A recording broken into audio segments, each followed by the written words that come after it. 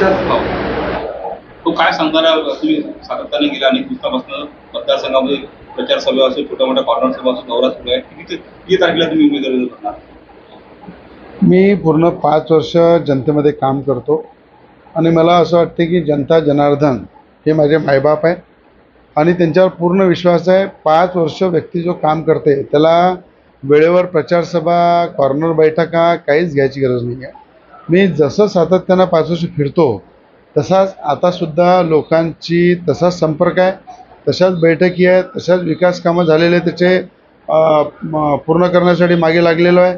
आणि एकोणतीस तारखेला मी युवा स्वाभिमान पार्टीच्या वतीने मला मी फॉर्म भरणार आहे.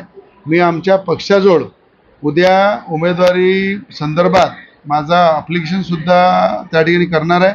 आणि पक्षाचे अध्यक्ष कोषाध्यक्ष सचिव उपाध्यक्ष हे सगळे मिळून कोर कमिटीची बैठक घेऊन दोन दिवसामध्ये मला असं वाटतं की युवासेन पक्षाची तिकीट ए बी फॉर्म्स आहेत मला मिळेल आणि त्याच्या माध्यमातून एकोणतीस तारखेला अर्जसुद्धा भरील आणि महायुतीचा मला पाठिंबा राहणार आहे त्यात काही शंका नाही.